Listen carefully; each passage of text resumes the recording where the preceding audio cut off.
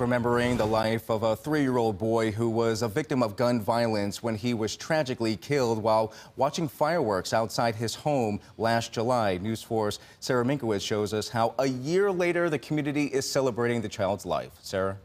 Jeff, dozens of people showed up at the Ferry Grider homes on East Ferry Street to celebrate the life of Shaquell Walker Jr. Organizers say this is to let the family know that their son has not been forgotten. What we wanted to do was honor the family, um, bring the community together, and celebrate a life, although it's been taken, and just let the family know that we haven't forgot about them and that we care about them. The scene outside the Ferry Grider apartment complex on East Ferry Street was filled with music, dancing, and a lot of food.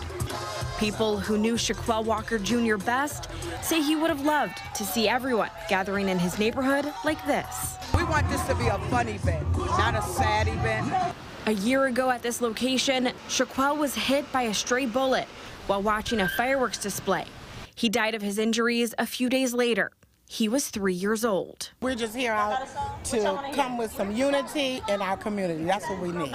You know, and, and we have to take a look at the bottom line, the, the um, purpose, the reason that brought us all here is because of the gun violence in our community. So we have to eradicate that. To honor Shaquell, several organizations, including the Buffalo law firm of John Elmore, Most Valuable Parents, and Stop the Violence Coalition, through this event called It's a Family Affair. The number of the people, the turnout is, is, is greater than expected.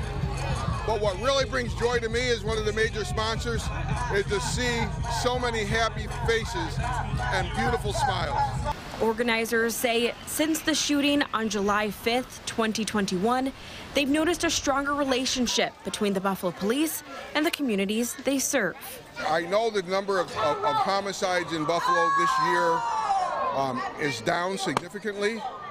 Uh, and, and, I think that is, is um, to some degree, due to a partnership between law enforcement and the community that wasn't there this time uh, when this happened. In light of everything that's happening, it's bringing everybody together. Uh, we're no longer just concerned about ourselves. Um, we have a lot of people reaching out to people, um, and we still have a long way to go. We have a long way to go, but we want to put hope back in the community.